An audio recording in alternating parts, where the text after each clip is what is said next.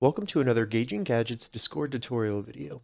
In this video, I'm going to show you how to fix screen sharing audio not working in Discord. So if you're trying to screen share maybe a YouTube video or Spotify on Discord and the audio is not going through, hopefully the steps in this video will help you fix that so that it works for you. All right, so let's go ahead and get started. The first thing you need to do when you're actually in a voice channel and you start sharing your screen is ensure you select the correct screen sharing option.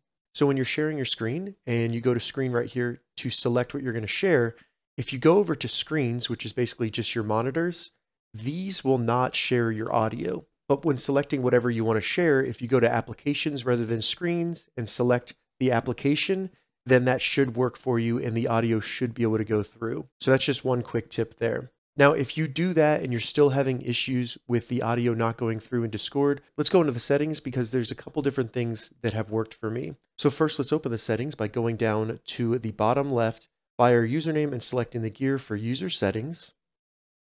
Then in the user settings in the left sidebar, find voice and video under app settings, select voice and video. And then under voice and video, we're going to go down until we see screen share, which is Close to the bottom, under screen share, you should have an option, use an experimental method to capture audio from applications. Make sure that's turned on. And if that doesn't work, what I recommend doing is rebooting your computer and then trying our final option, which is only available in the desktop application of Discord. So what we're going to do is go down the left side, go to game settings here and select game activity. And what you want to do is just add the application that you're trying to screen share as a game. So in my case, it's going to be Spotify. To do that, all we need to do is go to add it right here, select that. Then you can probably do the drop down and find it on your computer here. So Spotify, and then select add game. So now with the application selected that you're trying to share your audio on, you can close the settings.